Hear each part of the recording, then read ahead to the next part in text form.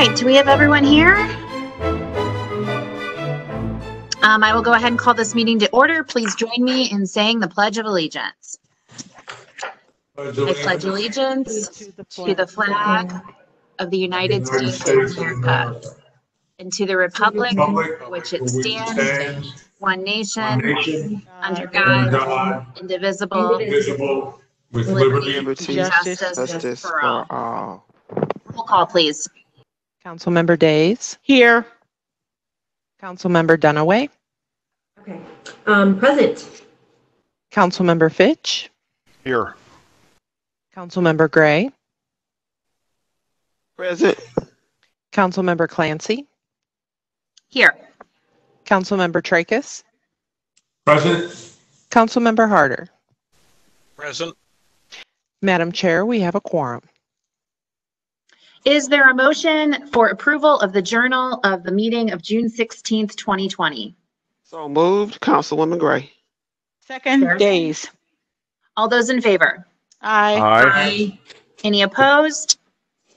Motion carries. The June 16th, 2020 journal is approved. We have no bid openings this evening, so we will move to communications. Madam Chair, we have no tax compromises this evening, so we will move to zoning matters.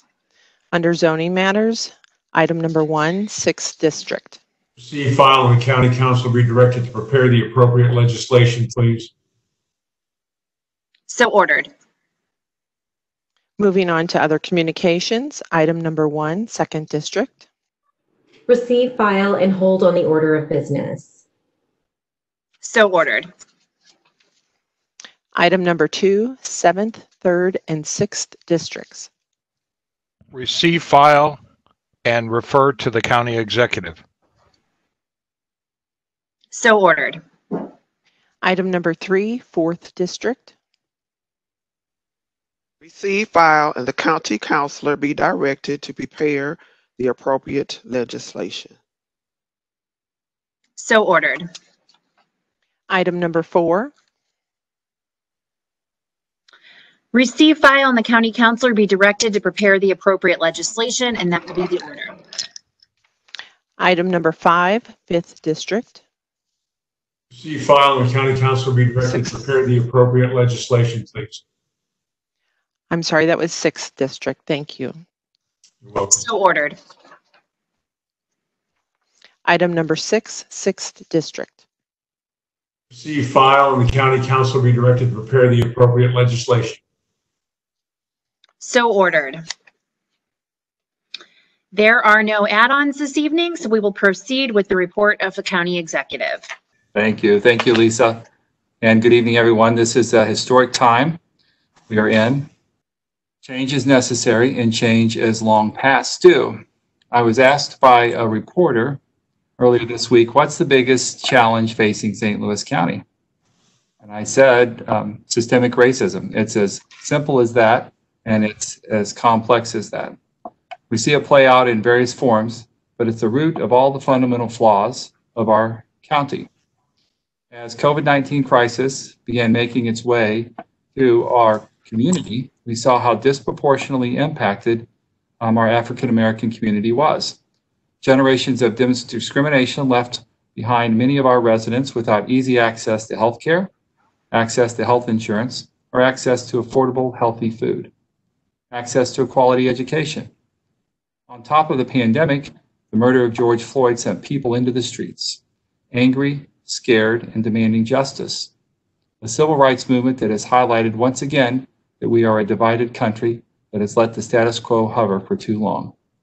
We are seeing changes, voices being heard, but acknowledging systemic racism is only the beginning. We have to all work together to end it. As county executive, I've insisted that all policy decisions be made through a lens of equity and that diverse voices are at the table when we make those decisions. In our COVID response, I said that funds from the federal grant that we receive would go to those who need it the most. And that's what is happening. We are working with public health experts, the Brown School at Washington University, and dozens of community partners to make sure our response is the right one, reaching the most vulnerable and those historically underserved. My commitment is to do all that I can to change the course of this county and one that truly is a place where there is justice for all, equal opportunity for all. But I can't do it alone. Government can't do it alone, and I'm calling on corporate leaders, faith-based groups, community service clubs, and schools to be all in when it comes to change. A response to a pandemic should not be political. A response to systemic racism should not be political. Let's work with all of those who've been left behind and make sure they are at the table as we chart a path forward. When I became county executive in April 2019, our boards and commissions were 23% minority and 38% female. Today, 41% of our members are minorities and 58% are female. Our boards and commissions, which help shape our policy and guide our decision making, must look like our community to ensure conversations are robust and meaningful and representative of St. Louis County. Juneteenth events were held around the country in this past weekend, including here. It's heartening to see more people, more white people, engaged in learning the chapters of history conveniently left out of some classrooms. We have to know our complete history not just the parts that are easy to teach. Otherwise, we cannot truly believe the future will be any different than the past. As I often say when talking about the pandemic, we are all in this together. To successfully curb the virus, we must social distance, stay home when sick, wear masks, and wash our hands regularly. No one can be the exception in this battle to prevent more sickness and death in our community. And no one can be an exception in our fight to end systemic racism. As communities across the country weigh whether to remove statues or rename streets, those same conversations are going on here. And last week, I asked Hazel Erby, our Director of Diversity, Equity, and Inclusion, to work with our Parks Department, our Public Works, and our Transportation Department to review names of roads, parks, and statues countywide. We must address this in a thoughtful and organized way. I don't think we should be looking at these one at a time when someone brings it to our attention. The intent of the review is to make sure that names are in line with the county's values of equity and inclusion, and the symbols that define our community should not be symbols that divide our community. We must not let this moment fade into inaction, and let's seize the opportunity to respect differences, to speak up, and to listen, to admit changes are necessary, and to work together to make those changes. That's all for now. Thank you, Lisa. Thank you, Dr. Page. Um, report of special committees. Uh, no update this week, so receive, file, and the report dated June 16th, 2020 be adopted as submitted. Second, Days. All in favor? Aye. Aye. Any opposed? Motion carries. And for the next item, the committee of the whole from last week, um, regarding Bill number 109. I will receive, file, and the report dated June 16th, 2020 be adopted as submitted. Second, Days. All in favor? Aye. Aye. Any opposed? Motion carries.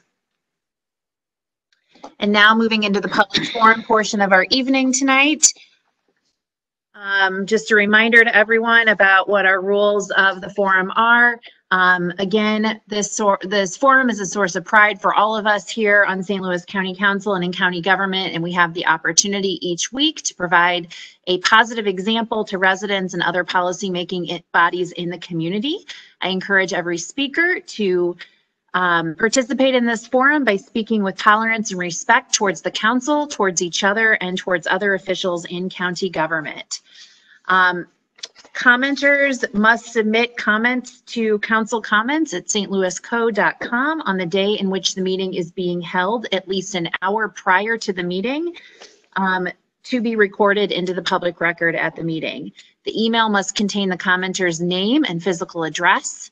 The comment must be limited to 400 words or less, which is the equivalent of three minutes of speech, which is what we would be enforcing during our in-person meetings if we were meeting in person.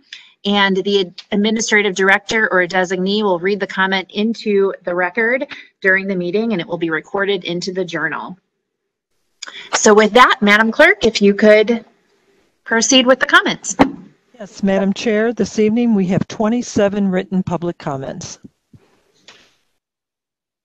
Madam Chair, the first comment, excuse me, is from Stephen Bailey, 43 Aberdeen Place, Clayton, Missouri, 63105.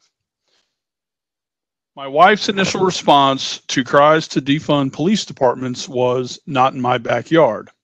My response is not in their backyard. High crime neighborhoods not benefit from politically enforced police disengagement. Professor Roland G. Fryer from Harvard Economics reports his study of police disengagement showed marked increases in criminal activity. His study also reveals a shocking racial difference in police use of non deadly force. See Wall Street Journal A17 from today. The latter may indicate a mindset that deserves investigation and cure. Poor neighborhoods need good police to keep the citizenry safe and productive. Do the right thing. Don't reflexively do something. Stephen Bailey.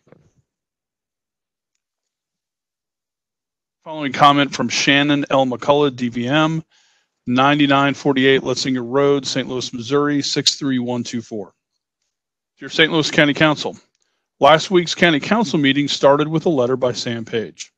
Sam Page wants to make sure that roads and parks in the county are named for people who are aligned with the county's values.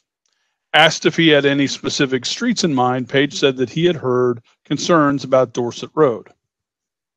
In quotes, but really is obvious that there could be other street names in our community, and rather than going through them one at a time,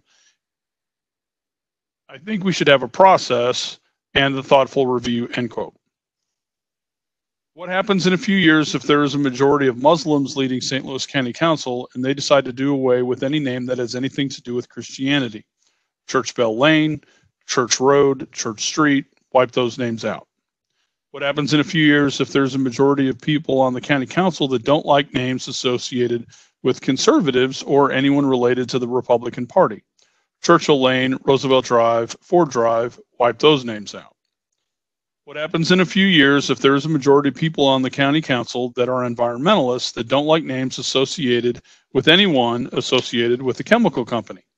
Queeny Park, goodbye, or a company that builds airplanes, James McDonnell County Park, goodbye. Let's go back to the statement about having roads and parks in the county named for people who are aligned with the county's values. Who is to decide what the county's values are?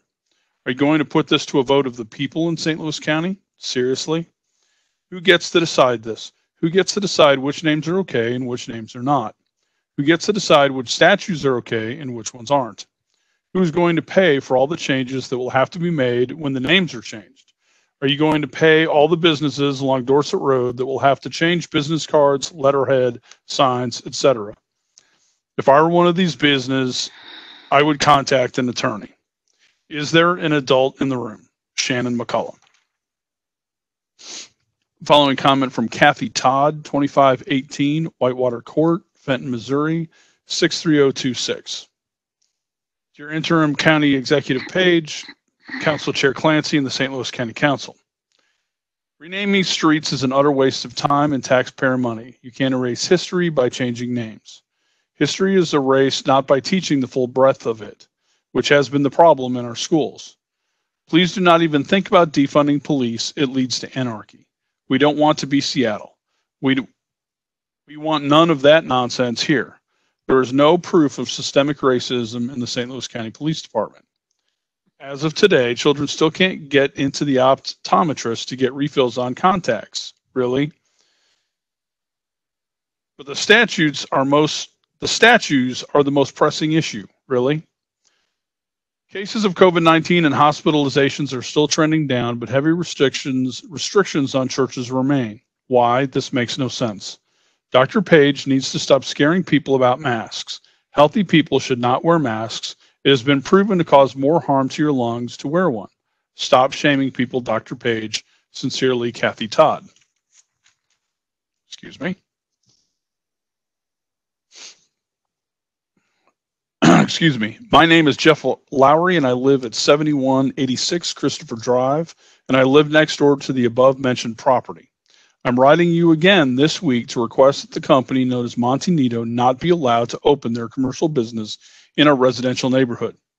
There are some new developments in the la- in the past week on two separate occasions There were multiple work vehicles parked outside of the property, with my understanding that they were there to bid on various types of jobs that needed to be done for Monte. Needless to say, this is making the neighbors in the area a little nervous, if not angry, as it seems as though things are moving forward, allowing this company to move in and open business operations. We've been told that a formal review process is being done by the county to determine the appropriateness of a commercial business being allowed to open in our residential neighborhood. We need the county's support and help in making this go away. We as taxpaying citizens are feeling abandoned by the very people who are supposed to be protecting our interests. The interests of a large corporation is being put ahead of the interests of the people who have lived and worked and paid taxes their whole lives. This is wrong. There is no way that anyone can convince me that a medical treatment facility has to be allowed to open up right in the middle of a residential neighborhood. This company has pulled the old bait and switch on the county, and you're allowing it to happen to you. They call themselves a group home for the purposes of being allowed to purchase the property through though nowhere, and I mean nowhere, do they refer to themselves as a group home in their websites or even in conversations that have been had with representatives of the company. That's the bait for those of you following along. They do, however, refer to themselves as a medical or residential treatment facility in various areas of their website. And there's the switch. This company will call themselves whatever they need to call, whatever they need to in order to be allowed to open a business. This is plain and simple a large commercial business that will generate over $2.5 million in revenue annually. And that's the end because it's over the 400 word limit. Following comments from Terry Deloge, number two, Fair Lake Drive, Chesterfield, Missouri, 63005. Renaming the streets is an utter waste of time and taxpayer money. You can't erase history by changing names. History is erased by not teaching the full breadth of it, which has been the problem in our schools. Please do not even think about defunding the police as it leads to anarchy. We don't want to be Seattle. Good grief, it's an utter debacle there, and we want none of that nonsense here. There is no proof of systemic racism in the St. Louis County Police Department. How can Clancy and Dunaway claim to respect black people while refusing to vote for Zena Hackworth's accomplishments? I guess ripping statues down is more politically correct than voting to honor the wonderful lifelong work of a Black County resident. May I ask why you and your team do not respond to any of the 30 plus emails of public of public comment that you have received in the past six weeks? Are you each a member of the council to serve your own interests or the citizens of St. Louis County? Concerned, Terry Deloge.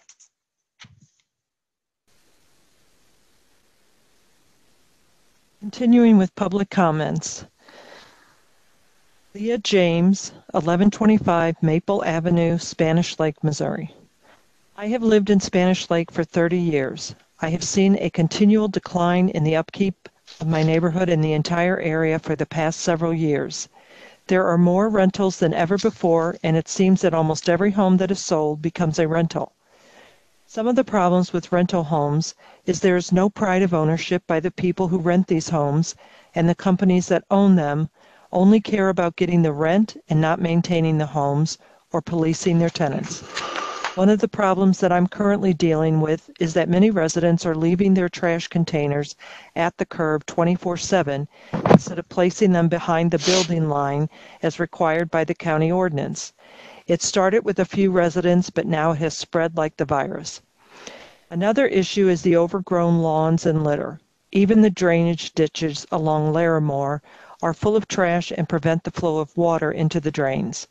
I don't see any evidence of the county enforcing this ordinance or many others that affect property values and the upkeep of neighborhoods.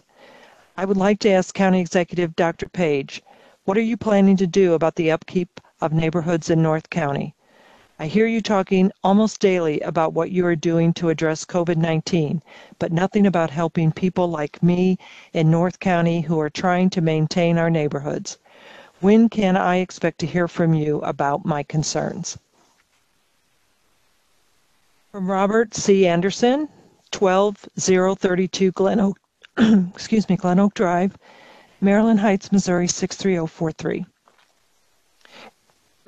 regarding possible street name changes and to educate people, the natural environment may also be considered.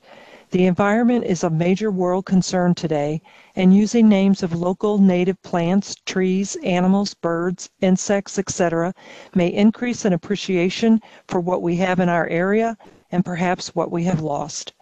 As for history, per Daniel Wolpert, son of Dr. Stanley Wolpert, who was professor emeritus in history at UCLA, quote, as I listen to the cries of, we will forget our history if we change statues in the public square, I know that my father is rolling in his grave.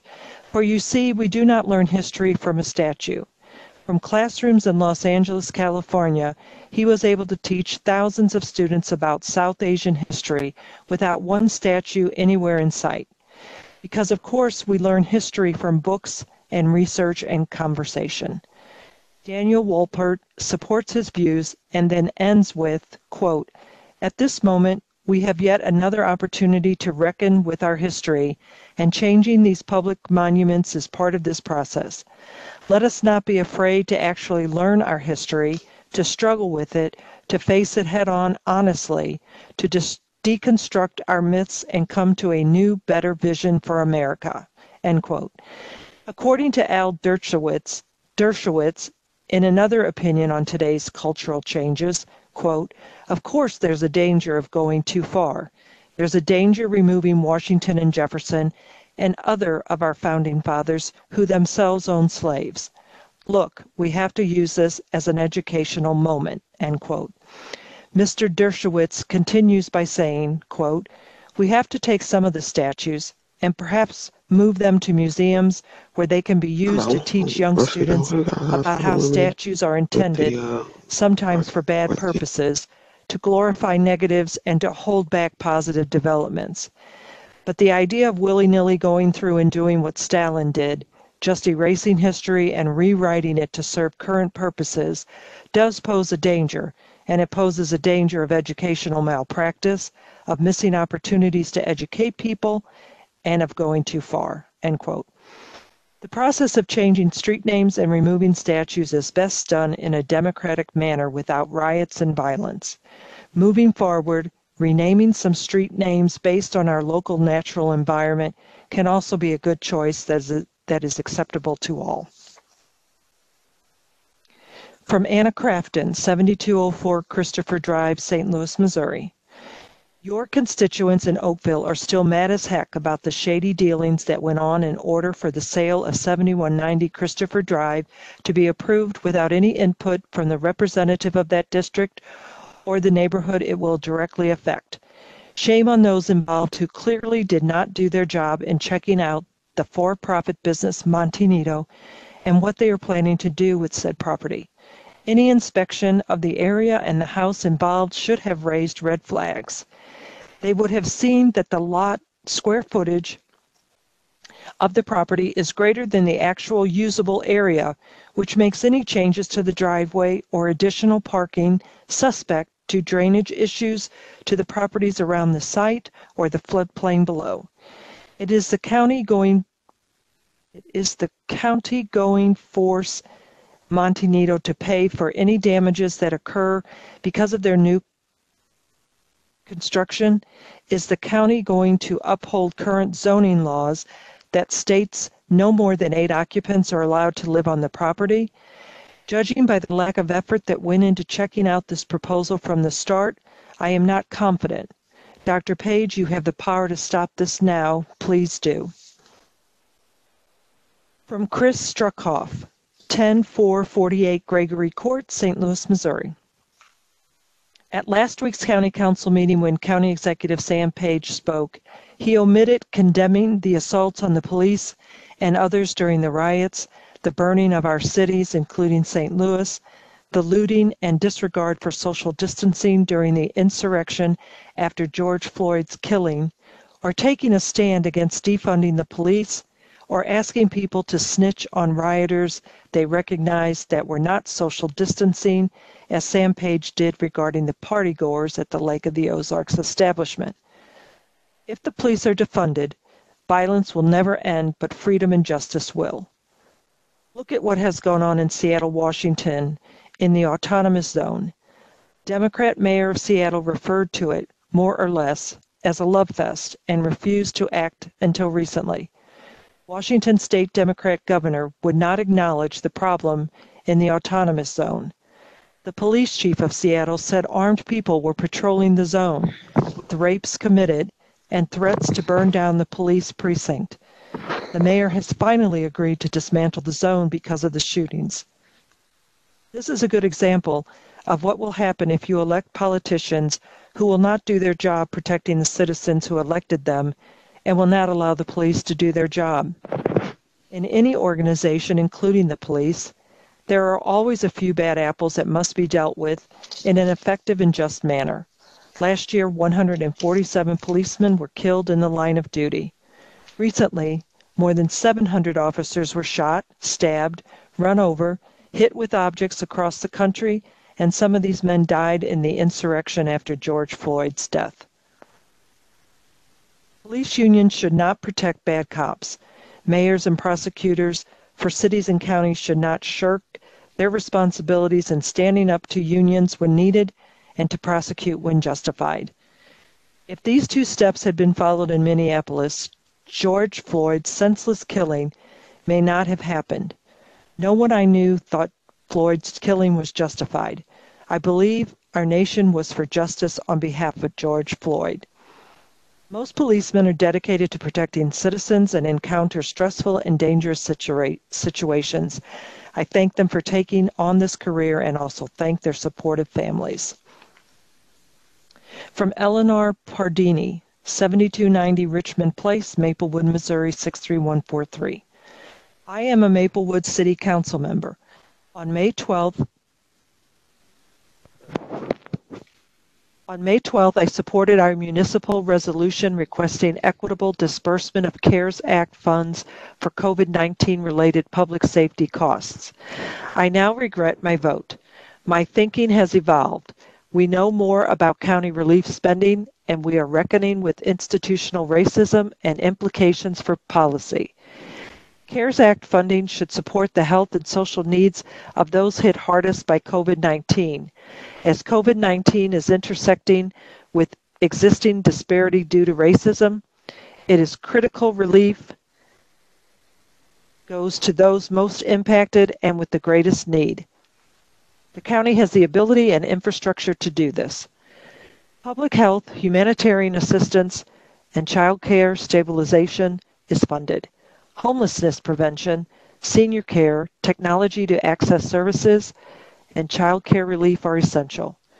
Municipal residents are county residents and can access services through the county.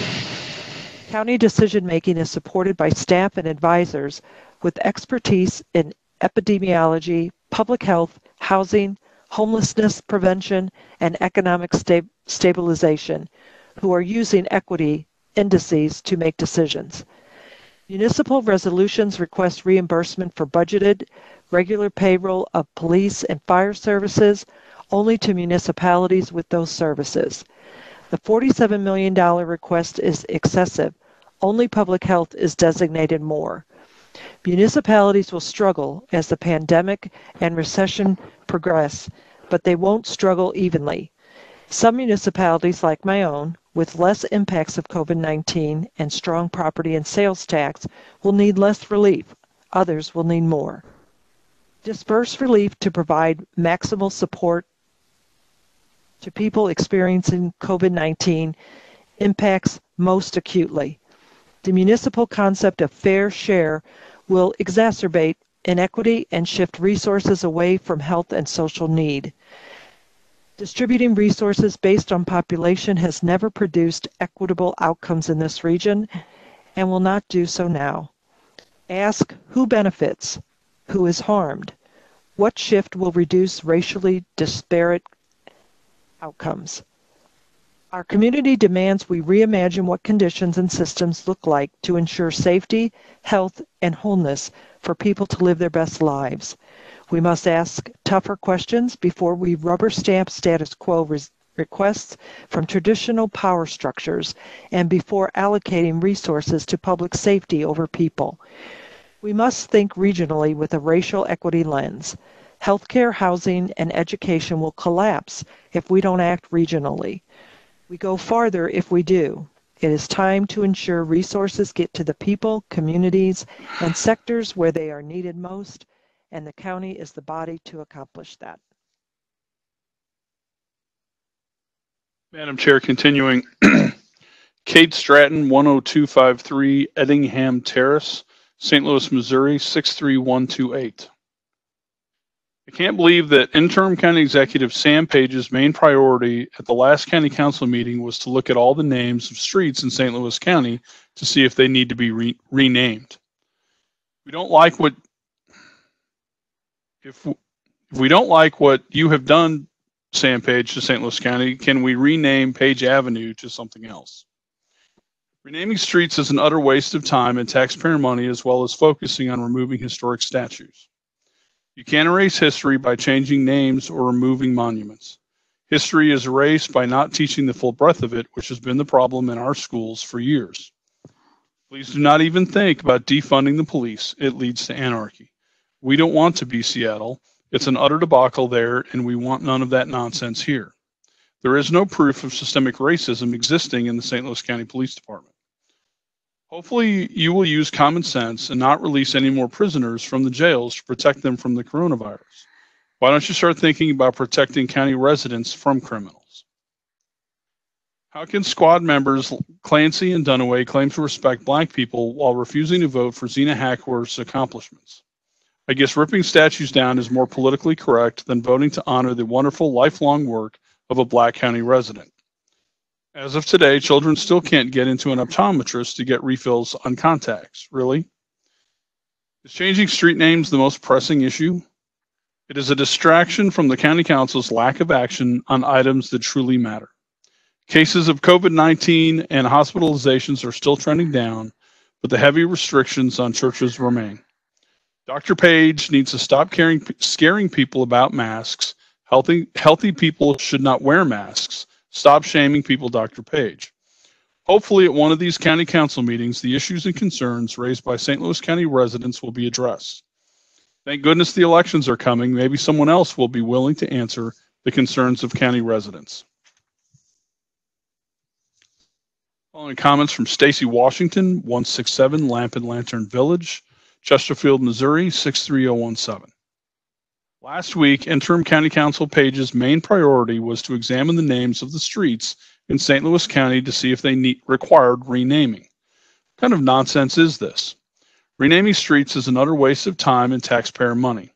Not, not one life will be improved by changing street names. If we must change a street name, let's start with Page Boulevard. Another crazy liberal idea is to defund police departments. Defunding the police is totally off the table for St. Louis County because it leads to anarchy. We value law and order here. We want less crime here. We actually want better leadership on the council, too. What we don't want is to emulate Seattle. Good grief, it's an utter, utter debacle there, and we want none of that nonsense here. We need more police, not less. One more thing. How utterly insulting it is that two white women, squad members, Clancy and Dunaway, refused to vote for Zena Hackworth's accomplishments. I guess representing the squad is more important than, on, than voting to honor the wonderful lifelong work of a Black County resident. Black Lives Matter, though, right? Lastly, COVID 19 infections and hospitalizations are still trending down, but heavy restrictions on churches remain. The impact of houses of worship being fully open cannot be underestimated. Free us. We want to attend our churches. Sincerely, Stacy Washington. Following comments from Deb Matush, 1455 Craig Wold Road, Kirkwood, Missouri, 63122. You must be excited that the Wuhan virus deaths are down. Our hospitals are ready for all patients, and the morgue was built but was never needed. St. Louis County residents rock, excuse me, St. Louis County residents rock, but don't push us too far. You poke the bear too many times, and the growl will be heard and felt countywide. The protests that have been allowed in St. Louis County could happen all over again, but for different reasons. I'm sure all protesters will be treated the same regardless because you've laid the groundwork for acceptability of large gatherings without repercussion. It is exciting to think our community will be thriving again. Schools, stores, houses of worship, recreational facilities. I've been at the Lake of the Ozarks for four days now, and it is thriving. Their numbers are low, as are mask wearers, and no mask shaming. To this end, my requests open fully. Stop the fear mongering with masks. The numbers no longer support it. Put it with the street sign stuff. Be transparent with the CARES Act money. Support small businesses unless you want them to leave. Try to attract new businesses. Your main responsibilities should be fiduciary, safety, and economics. I keep asking and will keep asking the county council, where are you? These rabbit trails of street signs, shutdowns, restrictions are counterproductive and a waste of time. November can't come fast enough. Remember, Mr. Page, you were not elected, you were appointed as an interim leader when it came time for you to stand for the citizens of St. Louis County, you sat down. As for you, Ms. Clancy, you've been you've been sitting. Council members stand up for us people out here who do the working, living, and dying in this community. We need strong leaders now. Be a voice for us. We elected you, and we can elect someone else. Deb Matush. Following comments from Farrell Carfield, 4, 542 Sunnyside Avenue, Webster Groves, Missouri, 63119. It is true that 47 is it true that 47 million of the 173 million St. Louis County CARES Act funding may go to police and fire departments? And for basis of comparison, I'm hearing that 5.9 million has been dedicated to humanitarian response and 5.9 million to char- child care stabilization. I oppose this relative prioritization. I'm worried that recent municipal resolutions will lead the county to act based on the guise that this is what cities want. If the county decides to allocate CARES funds to public safety, it is true that municipalities want to claim a share. This is not the same as municipalities advocating that public safety is a COVID funding priority. Our police and fire departments are already generously funded, especially after the increased funding via Proposition P. I ask the county council to reconsider spending on police and fire budgets and instead work for ways to better meet true need housing, healthcare, childcare, business recovery, and to continue to account for the disparate impact of COVID rather than distributing funds based on population count. Thank you for your consideration, Farrell Carfield. Following comments from Alyssa Sullivan, MSW, 229, I'm going to say this wrong, Karish, Webster Groves, Missouri, 63119. Watching how St. Louis County plans to spend the $173 million in CARES Act dollars. And if my understanding is correct, the Municipal League is leading a coordinated effort of city managers and city councils to lobby for 47 million of CARES Act dollars to pay for municipalities' police and public safety costs. This seems wrong. I don't understand why CARES dollars would go to municipalities to reimburse them, reimburse them for the regular payroll of police and fire services already accounted for and paid for in existing in existing budgets. I understand there are differing opinions on the legal legalities of spending CARES funds on previously budgeted items. However, even if you can make this decision legally, the question is, should you?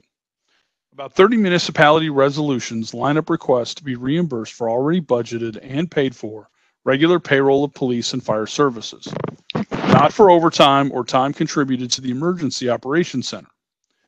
Time that municipal first responders have contributed to the Emergency Operations Center should be reimbursed, but could be done through a program requiring municipalities to document expenses through FEMA ICS Form 214s. CARES Act money should be distributed according to need, not according to population, as suggested by the Municipal League. St. Louis County should be spending our CARES funds on things other than police payroll. That's not what CARES Act money is for. I think I'm watching a coordinated $47 million money grab by municipalities with no consideration given to whether or not they actually need that money or pay for COVID 19 relief efforts. When I see that sum relative to child care stabilization and humanitarian response budgeted only at 5.9 and 9.5 million each, I become really concerned about your priorities for fund distribution. You're, you're going to spend five times more on already funded municipal police payrolls than humanitarian response at a time the entire nation is talking about defunding police in favor of bolstering social support spending. Really? If this municipal money grab is legal, I would like it I would like to be on record stating that it is ethically and moral, morally questionable and is steeped in the intentional fragmentation of St. Louis County, which propagates systemic racism. Please do not distribute my hard earned federal tax dollars according to this municipal league plan. Please be ethical and non politically motivated stewards of those dollars meant to care for all of us according to our need. From Richard and Kathy Ellis, 7140 Christopher Drive, St. Louis, Missouri 63129. It is no secret that Monte Nido plays a shell game and smoke and mirrors regarding their operation and how to circumvent zoning to force their way into neighborhoods. After all, Monte Nido is owned by Levine Leichtman Capital Partners, a billion dollar corporation, so strategy comes at no cost for them. We are new to Missouri and we're very excited to find a wonderful neighborhood. We never would have imagined that a billion dollar corporation could be our neighbor. It does not seem legal that a psychiatric treatment facility would be allowed in a residentially zoned neighborhood. Additionally, we are concerned, Dr. Page, that as a medical professional who has taken an oath, that you would consider a psychiatric treatment facility offering therapies such as cognitive behavioral therapy, interpersonal psychotherapy, and family based therapy, just to name a few, to be in allowed use in a residential neighborhood. The Missouri Eating Disorders Council refers to residential levels of care as 24 hour supervised care for patients who are medically compromised. Monte Nido is not a group home. They should no longer be able to hide behind that shell. We chose to invest in a quiet residential community with wonderful neighbors, not to be neighbors with a commercial business. It is time for St. Louis County Council to stand up for and support us. Please do what is right for your residents. Thank you for listening. From Kim Baker, 409 Chukar Valley, Ellisville, Missouri 63021. It's an absolute slap in the face to taxpayers to consider and or spend money on renaming streets in lieu of focusing on the financial needs of the county in time of a dramatic loss of tax revenue. We see your virtue signaling, Sam Page and other county council members. It will be remembered for the empty and wasteful gesture that it is. Since some of you, Clancy and Dunaway, claim to respect African Americans, why did you not support Zena Hackworth's lifelong accomplishments? Let's put it out there in the open. It's because she is because she supports gun rights and is pro-life. Seems African American accomplishments only matter when they align to your party or your values priorities. Masks an ineffective solution in practice. People are wearing masks from manufacturers who clearly disclaim on the product packaging the ability of the mask to prevent transmission of COVID and or SARS virus. Worse yet are those wearing homemade cloth masks that provide even less theoretical protection. Routinely, people using the mask to cover only their mouth, another breach of protocol. Applying mask-derived disease prevention data is invalid.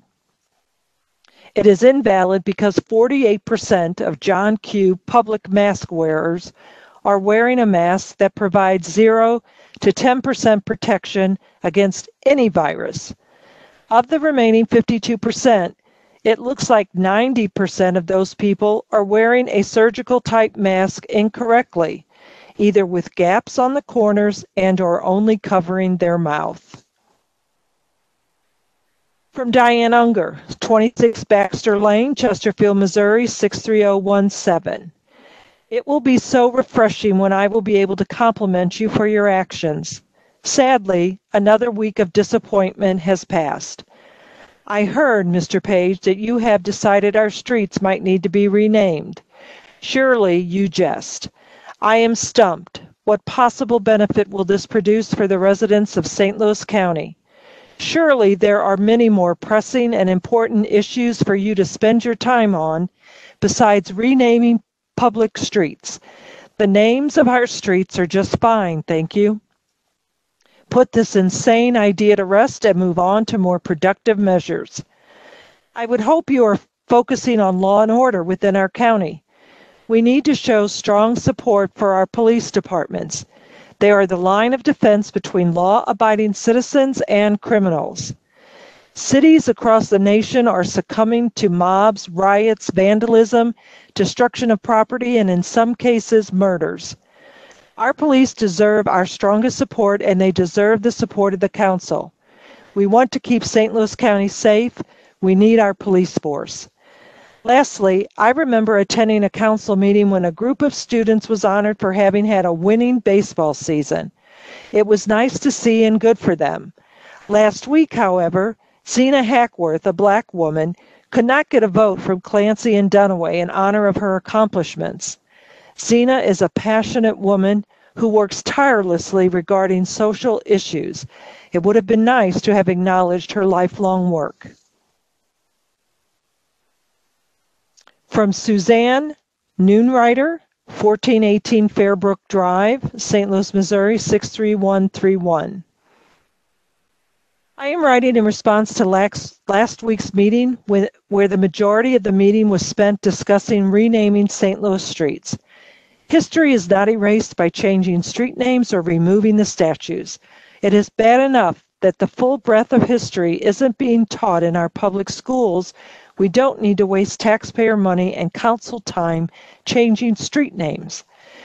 COVID 19 cases are trending downward, yet churches are still under heavy restrictions. Yet it seems there are no mask or social distancing rules enforced if a person should elect to join in a protest of a statue, wrongful death, or any presumed injustice or whatever cause they feel led to protest. My two sons are lifeguards at public outside pools where they have to work in the heat for hours on end while wearing face masks. All patrons at the pools are required to wear masks while sitting on the pool deck in chairs that are already positioned in groups that are six feet or more apart. This is ridiculous and unsafe. Please consider letting St. Louis County fully open up. Let business owners decide for themselves whether or not to require masks for patrons. Let lifeguards do their jobs without suffocating behind masks, and patrons of public pools sit on lawn chairs socially distanced from others without masks, which are not needed outside. Most importantly, please preserve the street names and statues in St. Louis County. Changing or removing them does not change our history or bring true, lasting justice to anyone who feels oppressed. From Brenda Walschlager, 5537 Old Lemay Ferry, St. Louis, Missouri 63129.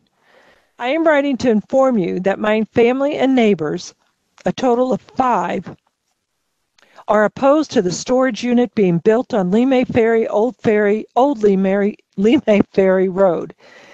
Below are the reasons. One, the area listed as 63129 is not developing new homes and the need is not there to have another facility for storage.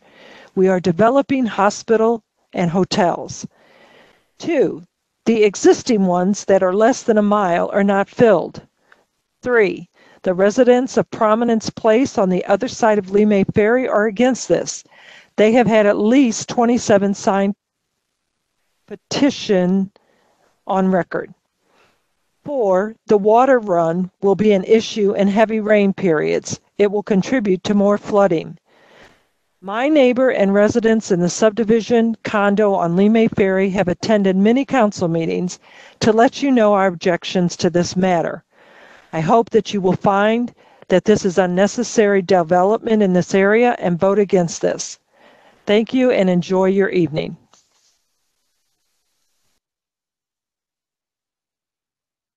Madam Chair, continuing. My name is Colleen George. I live at 3905 Manorwood Drive, 63125 in the 6th District of St. Louis County. They're back. How many times do the residents of District 6 have to inform the county that we, we do not want more, any more storage units in our district? We have fought Covington Storage Solutions multiple times in the past. Several years ago, from several years from building a storage facility at Lemay Ferry and Old Lemay Ferry Roads. As pointed out on many occasions before the Planning Commission and the County Council, there are seven storage facilities within five miles of this location. The last thing we need are more storage units in South County. Please give us de- please give us development that supports our investments. Storage unit facilities bring in few jobs and take up valuable space that could be utilized for multiple future developments. Please vote no next week on the Covington Storage Solutions. Thank you. Following comment, excuse me, from Tom Sullivan, 751 Syracuse, University City, Missouri, 63130. Madam Chair and members of the council, I thought the discussion about the food contract for the county jail at last week's committee of the whole meeting went well. Several council members had good questions. I have made a formal request of Jail Director Raul Banasco for a document that lists the Justice Services Advisory Board members and their emails. There is no legal reason not to provide them. If not provided by today, he will have violated the law. The St. Louis American just published an article about minority inclusion with the construction of the $1.7 million morgue in our city that has hardly been used. A lot of blame is on the council majority that voted to give away its legislative duty and responsibility as mandated in the county charter.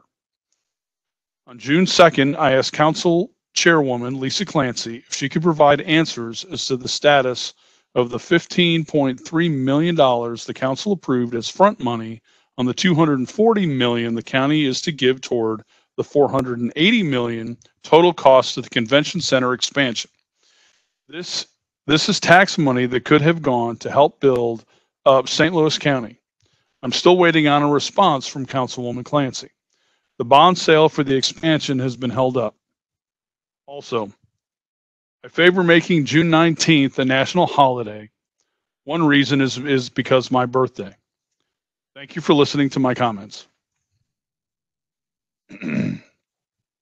Following comments from William Pyatt, 7184 Christopher Drive, St. Louis, Missouri, 6129.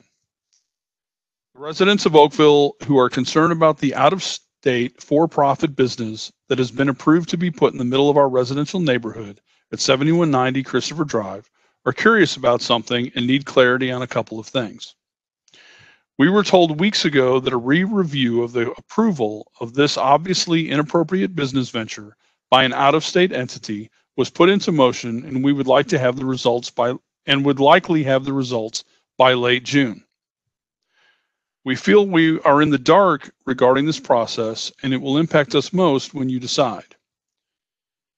You will move on and likely never give us another thought. And if you approve this atrocity for good, we will be the ones left to deal with the increased heavy traffic of employees and the del- delivery trucks speeding up and down our once quiet street where children were felt safe playing in their yards, but no more.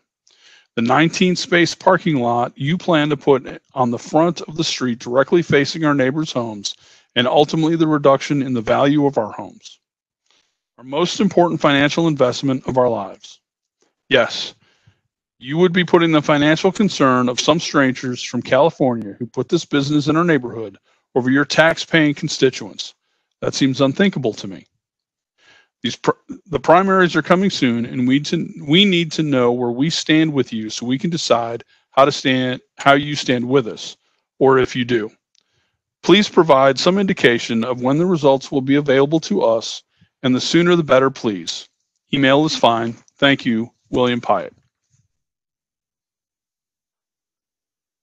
Following comments from Leslie Cuse, uh, hopefully I pronounced that correctly, 7430 Gayola Place, St. Louis, Missouri, 63143. In learning more about the CARES Act, I believe the county should be in control over the equitable disbursement of CARES Act funds for COVID 19. According to the St. Louis County COVID case map, there is a clear disparity in who is hit hardest by COVID 19. Relief should be distributed to those most in need, and the county should be the governing body deciding, deciding how to disperse those funds. Thank you for your time.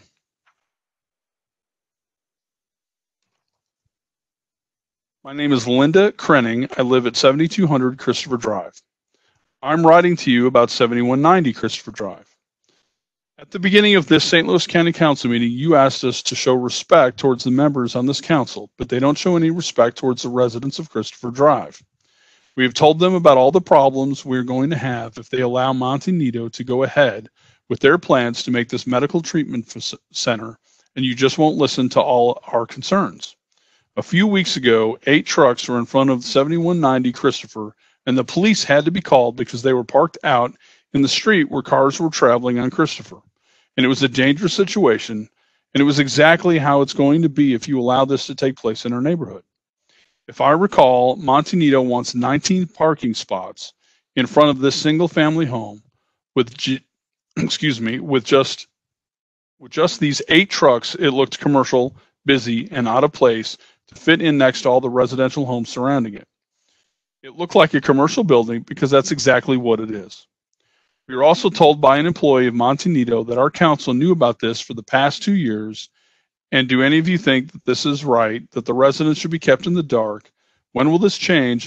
When this will change all of our lives forever? I know this would not be happening in your neighborhood. Why are you permitting this in ours? We want the same things you want in life to come home and enjoy peace and quiet after working hard all day and not have to deal with all the problems this will cause in our neighborhood. I only wish I could say what I really feel about you and Monte Nido, Linda Krenning.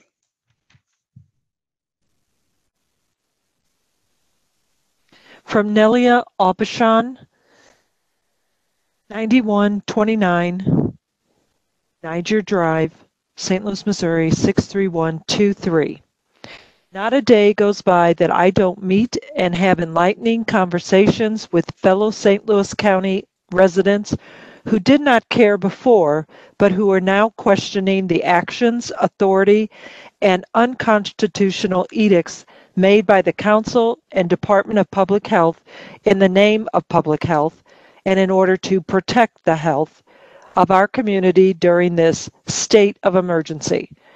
While folks can appreciate the intent and initial caution behind some of the recommendations, one that continues to baffle and frustrate parents such as myself is why St. Louis County continues to keep outside playgrounds and restrooms in county parks closed, despite the research and studies that have been published stating that they can be safely reopened. The mental health of adults and children is equally important to the physical health. Reopen St. Louis County park playgrounds so families can live and play as we continue to learn and negotiate how to move forward as a community. Our final comment this evening is from Ron Krenning, 7200 Christopher Drive. In my opinion, I think you could care less about all the letters, the concerns, and our feelings about how this will change our neighborhood because it's not you, and this could never happen in your neighborhood because you wouldn't allow it. It's politics as usual. Why can't you see this is wrong for our neighborhood and do the right thing for the residents of Christopher Drive and say no to a company who could care less about this neighborhood or any other neighborhood in Oakville? You asked for respect, so why are you not respecting the wishes of our neighborhood and making this wrong a right? I feel it's time for you to do the right thing and say no to an out of state business and protect the residents of your state and do your job and say no to Monte Nido. That is all the public comments this evening, Madam Chair. Thank you. That concludes public forum. We will proceed with introduction of bills. Bill number 140, introduced by Councilmember Harder, an ordinance authorizing the county executive to enter into a conservation easement agreement and trail maintenance, construction, and access easement agreements with West Outer Road LLC and Simpson Packaged Concrete Company and to execute necessary documents. Bill number 141, introduced by Councilmember Clancy, an ordinance amending Title 5, Chapter 502, St. Louis County Revised Ordinances, 1974, as amended, levy and collection of taxes by repeat, repealing and reenacting Section 502.410, continuing an emergency telephone tax. Bill number 142, introduced by Councilmember Clancy, an ordinance authorizing the county executive to accept a grant of up to $4,623,188 from the Missouri Department of Economic Development, Division of Workforce Development, and depositing and appropriating said monies as set forth herein for support of programs and services related to the Workforce Innovation and Opportunity Act and authorizing the county executive to execute necessary contracts or other documents. Bill number 143, introduced by Councilmember Clancy, an ordinance authorizing the county executive to accept community development block grant coronavirus funds of up to $3,333,172 from the United States Department of Housing and Urban Development as authorized by the Coronavirus Aid, Relief, and Economic Security Act, CARES Act, appropriating the same for support of St. Louis County's response to the coronavirus COVID-19 pandemic, authorizing the Director of Human Services or her designee to execute necessary documents to carry out activities authorized by the grant program and authorizing the county executive to execute other necessary documents. Bill number 144, introduced by Councilmember Clancy, an ordinance authorizing the county executive to accept special emergency solutions grant funds of up to $1,703,217 from the United States Department of Housing and Urban Development as authorized by the Coronavirus Aid, Relief, and Economic Security Act, CARES Act, appropriating the same for support of assistance programs for individuals and families who are homeless or receiving homeless assistance, and for support of homeless assistance and homelessness prevention activities to mitigate the impact of the COVID 19 pandemic, authorizing the Director of Human Services or her designee to execute necessary documents to carry out activities authorized by the grant program, and authorizing the county executive to execute other necessary documents. Bill number 145, introduced by Councilmember Clancy, an ordinance authorizing the county executive to execute an agreement with Union Pacific Railroad Company for preliminary engineering services in connection with replacement of Greenwood Boulevard Bridge number 424 and Railroad Street Pacific Avenue Bridge number 428, appropriating $40,000 from the unappropriated balance of the Transportation Highway Fund for support of said project and authorizing the Director of the Department of Transportation to execute additional necessary documents AR-1670. Bill number 146, introduced by Councilmember Clancy, an ordinance approving the fiscal year 2021 operating and capital budget of Bi-State Development Agency, DBA Metro, providing for the method of disbursement of funds received from the state of Missouri from the Prop A half cent sales tax levied pursuant to ordinance number 24,245 for the Public Mass Transit Trust Fund for public transportation purposes from the amount received by St. Louis County from July 1st, 2020 through June 30th, 2021, providing for the method of disbursement of funds received by St. Louis County from the sales tax levied by ordinance number 6792 from July 1st, 2020 through June 30th, 2021, net of the TIF transfers out, providing for the method of disbursement of funds in the Public Mass Transit Trust Fund received from July 1, 2020 through June 30, 2021, from the quarter cent Prop M sales tax levied pursuant to ordinance number 17,153, net of TIF transfers out, and specifying certain conditions for providing such funding to Bi-State Development Agency.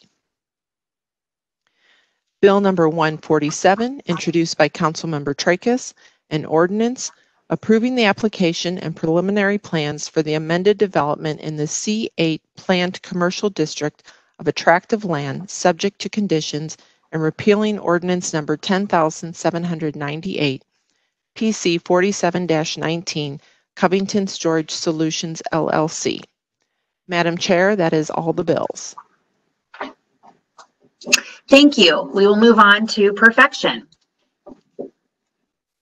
Bill number 20, introduced by Councilmember Harder.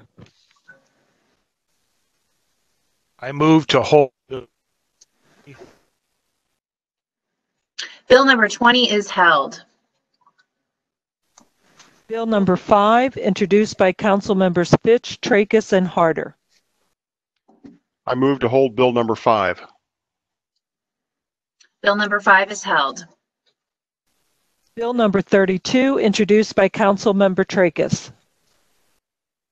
Move to hold Bill number 32, please. Bill number 32 is held. Bill number 36, introduced by Councilmember Fitch. I move to hold Bill number 36. Bill number 36 is held.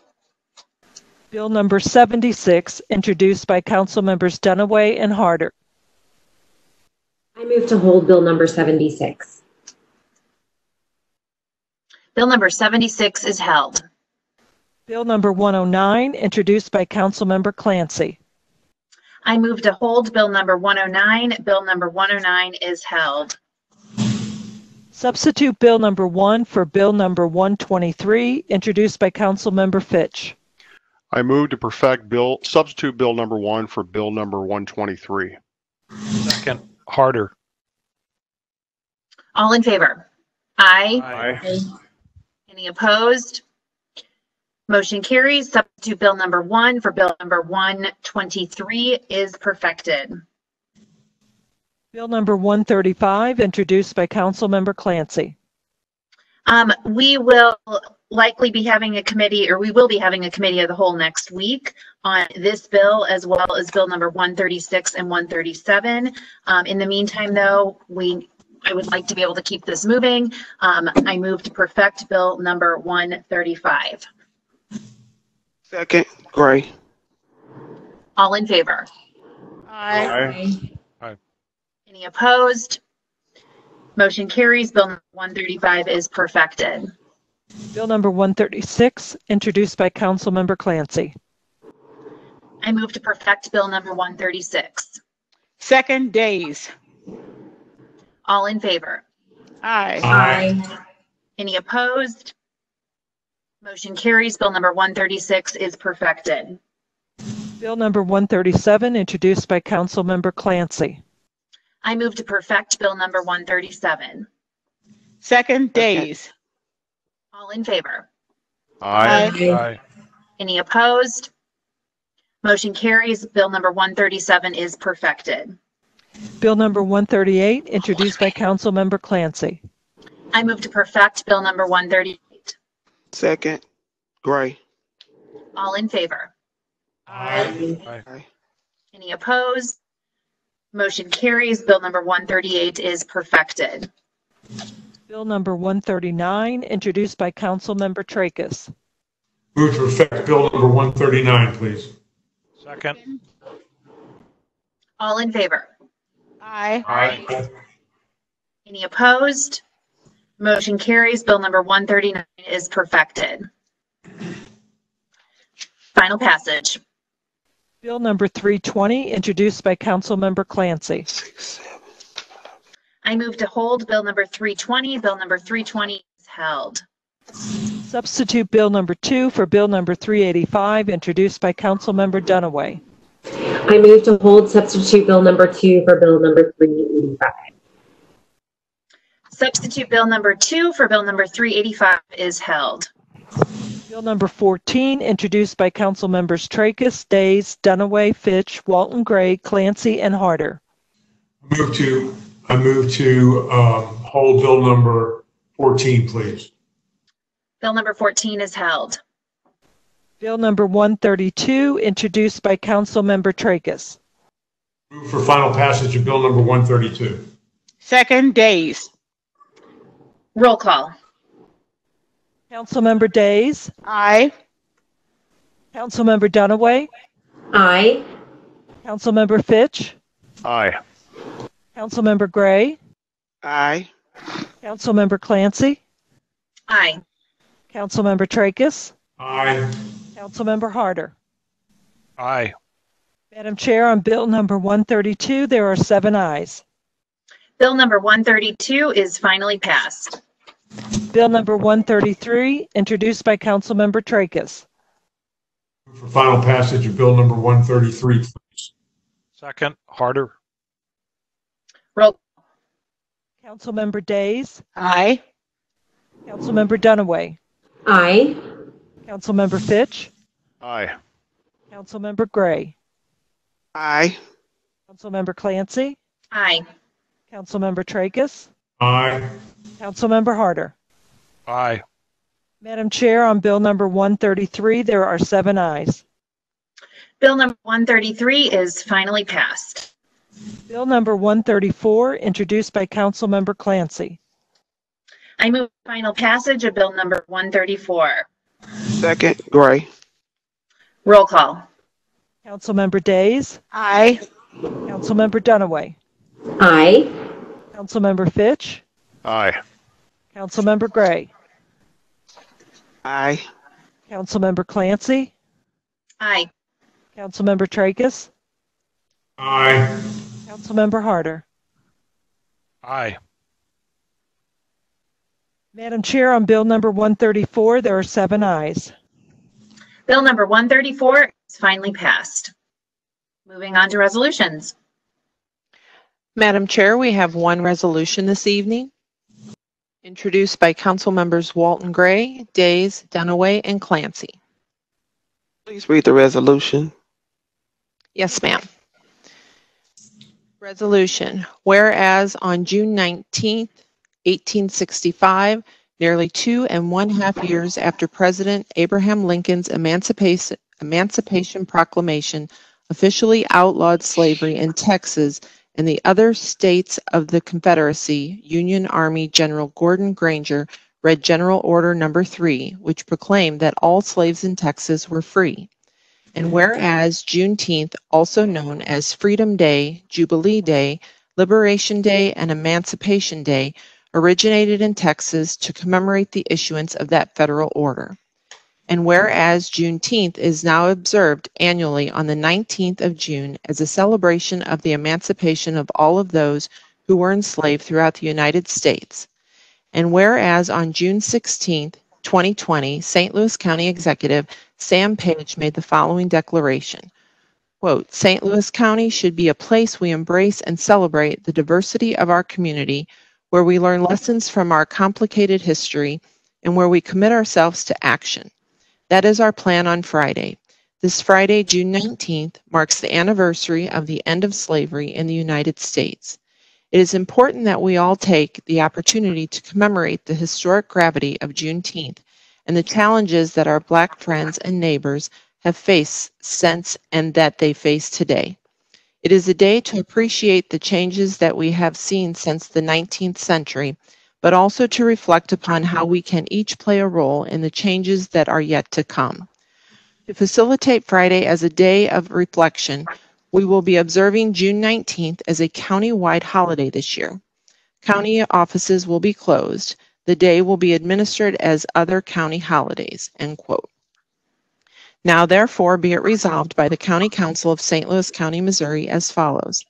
Section 1, the County Council expresses the strongest possible support for and agreement with the county executive statement and actions regarding the observance of Juneteenth 2020 in St. Louis County. Section 2, furthermore, the council commits to working with the county executive, the Department of Administration, the Division, of Personnel, and the Civil Service Commission to develop and implement a meaningful annual commemoration of Juneteenth in St. Louis County.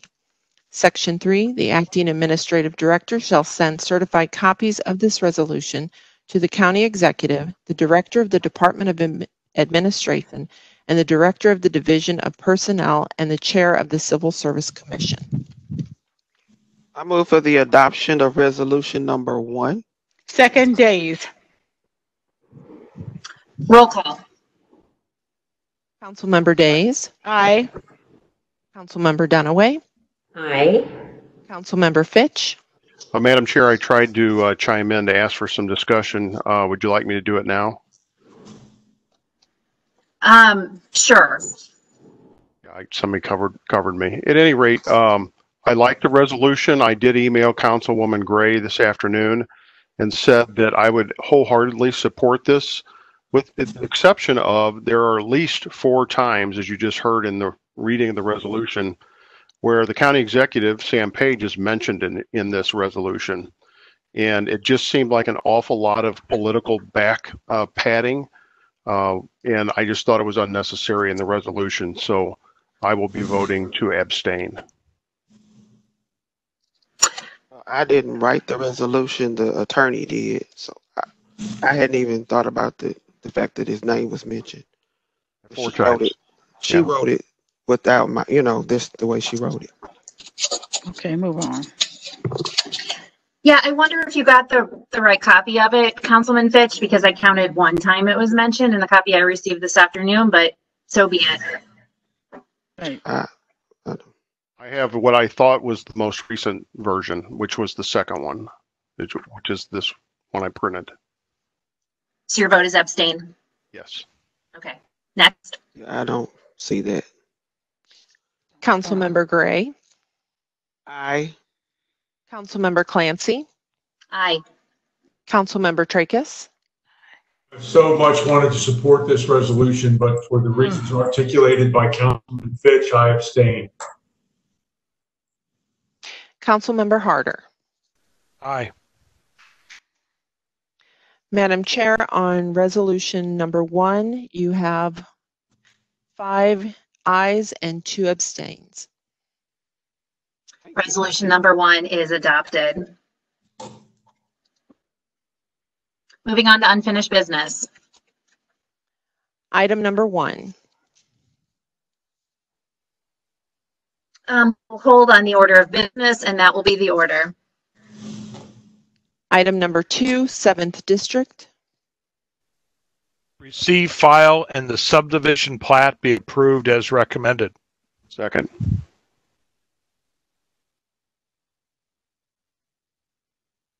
All in favor? Aye. Aye.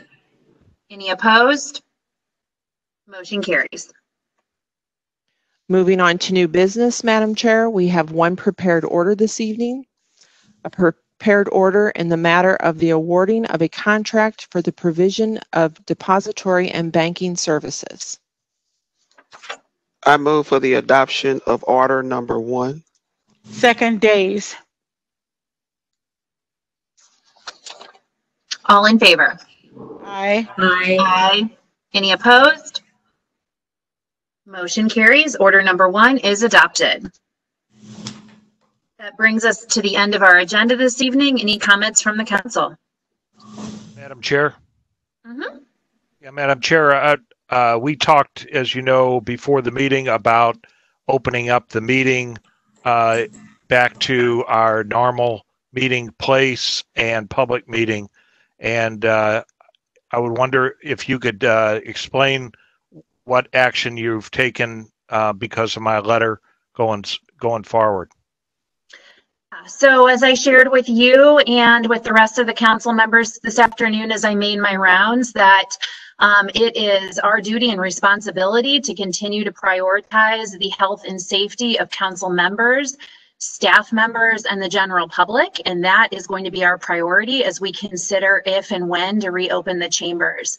Um, I have spoken with the Department of Public Health Director, Spring Schmidt, um, about this issue and asked for her advice and counsel um, in order to reopen the chambers safely. Um, she is preparing to send a team of her staff members out to our council chambers and the adjoining offices, take a look at our, our facilities and make some recommendations to us about um, what we can do to make sure it is a, a safe place for us to be in the face of a continued um, public health uh, threat.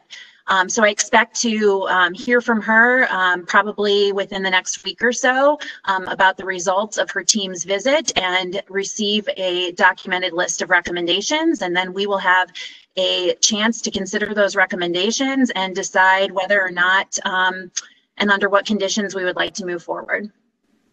So if, if it's my understanding, if she says that it's possible, uh, are you in favor of opening up the meeting to, uh, our normal public meeting? Well, I think it's going to be a little bit more complicated than that, Councilman. So I think it would be premature for me to um, say definitively. I will be definitely, though, looking to what um, her staff and the rest of what what her staff of public health professionals recommends. Again, we need to make sure that that we are prioritizing the health and safety of staff, council members, and the public. Okay, thank you. Thank you. Madam Chair? Yes, go ahead.